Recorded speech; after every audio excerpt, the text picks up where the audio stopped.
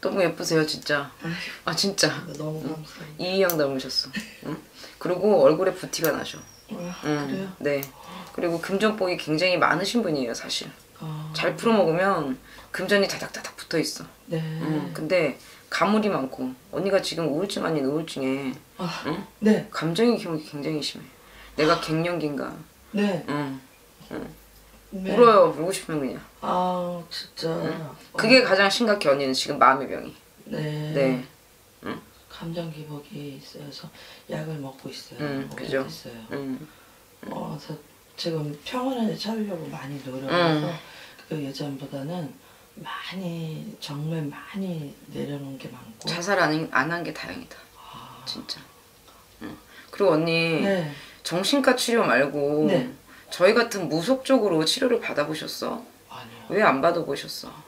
언니 그쪽에도 문제가 분명히 있어요. 뭐가 아, 빙의 현상 아닌 빙의 현상처럼 아주 여리여리한 여릿한 흐린 기운이 흐린 청기가 같이 따라붙거든요. 여자로. 어, 제가 볼 땐. 그래요? 네. 근데 네. 언니는 지금 일단은 마음의 병이 가장 큰 원인이 됐기 때문에 아. 어떠한 의욕도 없어 사실. 네. 어, 친구도 만나기 싫어. 여행도 재미없어. 솔직히 밥 먹는 것도 짜증나. 밥만 먹어도 살이 찌는 것 같고. 네. 어? 어. 그런 모든 것들이 나한테 우울증이야. 네. 안 먹으면 죽을 것 같은데 그렇다고 해서 음. 많이 먹는 것도 아니야. 한 번 먹으면 미친 듯이 먹어서 그렇지 많이 먹지도 않아. 근데 입맛도 없는데 어?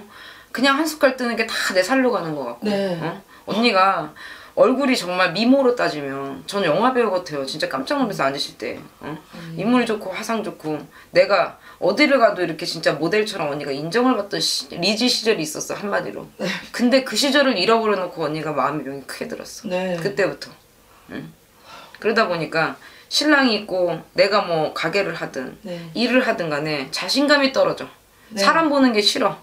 대인기피증이 생기고 그러다 보니까 신경안정제라든가 우울증 약이라든가 치료제를 자꾸 쓰기는 하지만은 호전은 많이 됐다고 하지만 언니 치유가 되기가 힘들어요 내가 볼 땐 치유가 완쾌가 없다는 얘기야 물론 감기라는 것도 완치가 없어요 그쵸 또 걸리죠 네. 암이라는 것도 완치가 없어 5년 있다가 완치라고 하지만 넘어가서 또 걸리는 경우도 있어 네. 어떠한 병은 완치가 없어. 특히 정신병은 없어요. 사랑의 병은 있겠어. 상사병도 완치는 없어. 다른 놈 만나면 똑같이 마음이 아파. 음. 그것처럼 언니는 지금 무한 반복인데 지금 이 약 먹는 자체가 언니의 신경을 굉장히 많이 건드리고 있어. 그래서 네. 신경을 누른다든가 신경을 눌러서 어디를 못 쓰는 게 아니라 네. 신경을 누르니까 자꾸 정신 상태가 더 흐려져. 근데 언니가 끊어야지, 끊어야지. 입으로는 하고 있는데 마음이랑 머리서 안 돼. 불면증이 심해서. 불면증이 심하면 잠이 올 때까지 자지 말아봐요. 아, 정말 신기한 게요. 네, 전에는 못 자면 너무 힘들고 그랬는데 네. 요즘은 그냥 깨면은 깬 대로 그냥 앉아버려요. 그게 왜 그런 줄 알아요? 내려놓으니까. 될 대로 대봐. 응, 내가 한번 해볼게. 그게 정신력이라는 거야. 네. 네, 맞아요. 의욕이 없고요. 네. 마음은 급하고 음. 바쁘고 샘도 되게 많아요. 음. 제가 아는 사람들은 다 잘 되는데 그 중에서도 제가 제일 잘 음. 되라고 사람들도 저 또한 다 믿었고 생각했는데 지금 제일 밑바닥이거든요. 근데 고시국도 있지만 그 틈새 시장을 노려서 또 다 잘 돼요. 네. 개통해서도 근데 정말 너무 금전적으로 힘들고 계속 돌려막기 하고 있는 형국이 언니가 놀아서 그래. 응? 언니가 의욕을 잃어서 그래요. 네. 그 이후로 언니가 가세가 기울었어. 응? 네. 언니는 사람들 오면은 진짜 예를 들어 언니 네. 지금 무슨 장사 하세요? 이불이요. 이불? 이불 하나 팔자고 사람이 내가 이불 사러 갔어. 네. 언니는 베개, 베개 사고 어? 세트로 사게끔 할 수 있는 사람이야. 네. 수단이 좋고 마케팅 전략, 어? 화술이 좋아. 그리고 도화가 있고 또 사람을 이렇게 홀리는 게 있단 말이야. 그래서 한마디를 하면은 그게 진심으로 느껴져요. 손님이 봐도. 그래서 언니가 판매를 잘했는데 네, 어? 네. 어느 날부터인가 언니가 자신감을 잃고 네, 사람이 하나도 만나기 싫어지면서 네. 언니가 가게를 안 나가니까 매출이 봐봐. 남자가 장사하는 거랑 여자가 장사하는 거랑 네. 판매는 예. 물론 다양해요. 신발 같은 거는 남자가 장사하는 게 더 잘 팔리지. 요즘엔 화장품도 남자가 파는 게 더 잘 팔려. 네. 그런 건데 언니는 네. 언니가 여자 상대를 여자를 상대를 하든 남자를 상대를 하든 언니가 나가 계셔야 거기에 대들보가 돼. 거기에 기둥이 되고.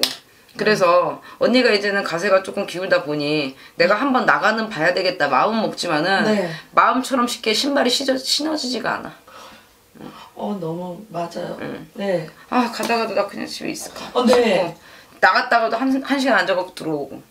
그리고 나가려고 마음 먹으면 그때부터 심장이 뛰어요. 그러니까. 귀찮고 나가기 싫고 내일은 나가봐야지 하면 어 막 그거 이겨내셔야 돼.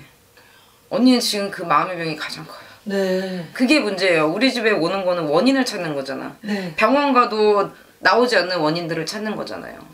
응. 정신과에서도 나오지 않는 원인. 네. 언니는 그걸 뽑아야 돼. 그리고 일단 흐린 청기가 분명히 있어요. 정리정돈 하셔야 되고 네. 3년 안짝으로 돌아가신 어? 집안의 상문이들거든. 3년 안에. 응. 장씨 집이 됐던 아니면 대주님 집이 됐던 몰라. 아 3년 안에 아니 있을 거예요. 어, 그러니까는 남편 쪽 할머니도 음. 계시고. 응. 거기에서도 또 묻어들었고 예. 언니네 집안에 이쪽 언니네 집안에 빌든 할머니가 있어. 예, 예. 친할머니. 네. 응. 거기서도 영향 있고 또 이장인지 합장인지를 만들어 만져놨단 말이야. 산 만진 적 있어. 언니네 집안에서. 아 그래요. 음. 저희 그러니까 아버지 쪽이요. 엄, 장, 그니까 장씨 집, 또 신랑 성씨. 아 그래요. 예. 저는 그거는 자세히는 음, 모르는데. 분명히 있어. 뭐가 매여 있다 그래. 거기서부터 시작됐다 그래. 아 음. 그래요. 네. 사실 저희 아버지가 일찍 돌아가셔서 네. 그 장씨 쪽이랑은 아예 연락 음, 끊고 음. 살고 연락이 안 되거든요. 음, 그래서 모르실 수 있겠구나. 그쪽으로 아, 만져놨을 수도 있는데 못 들으셨을 수 있는 거니까. 근데 네. 제가 볼 땐 분명히 있어요. 거기서부터 네. 언니가 바람잘난 없었어. 왜냐면 어. 사주가 그래. 네. 언니는 딱 무당 사주야. 아, 딱 무당 사주인데 그 사주를 거닐러 갔기 때문에 상업 영업으로 풀어먹는 거고. 네. 무당 아니면 언니는 진짜로 상업으로 풀어먹었어야 돼. 근데 내가 볼 때는 진짜 무당 사주거든 이 사주가. 근데 그 시기가 지나간 거예요. 잘 견뎌 오신 거지 어떻게 보면 안 죽고 진짜. 네. 당장 금전 풀릴 걸로 안 보여. 근데 이상하게 네. 이동이나 변동의 변동. 변동이요? 가게가 팔린다든가 아니면 가게를 빼야 되는 상황이 올 수도 있어요. 어, 응? 그러니까 언니가 빨리 나가서 그런 상황이 없도록 만드셔야 돼. 어, 그리고 또 제가 막 마음이 그런 게 자신감은 없는데 아 이불 가격이 요즘 하락세고 안 되니까 아 뭐 치킨집이라도 조그만 걸 해야 되나 막 이런 생각도 들고 온라인 판매 같이 하세요 혹시? 이불은 그렇게 네. 해요. 만드세요 직접 이거를? 아니요. 안 만들고 브랜드 브랜드 로. 네.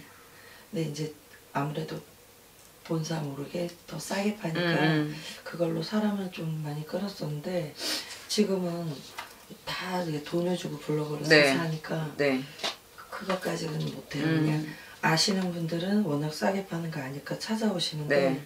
정말 없었던 데서 10배에서 또 더 계속 계속 하락하는 거죠. 언니가 나가야 된다고. 네, 그 얘기를 좀 많이 듣긴 했어요. 치킨집으로 해도 언니가 나가셔야 되고. 근데 내가 볼 땐 이 몸 상태는 힘들어. 체력이 안 돼. 약 기운에 언니가 눌려 있단 말이야. 네, 어, 신 기운에 눌려 있듯이 약 기운에 눌려 있어요. 네. 네. 집에서는 가만히 있질 않고 있는데 마음은 급한데 정말 왜 이렇게 안 떨어지지? 언니는 굉장히 부지런한 사람이야. 가만히 있지 못하는 사람이에요, 진짜로. 예.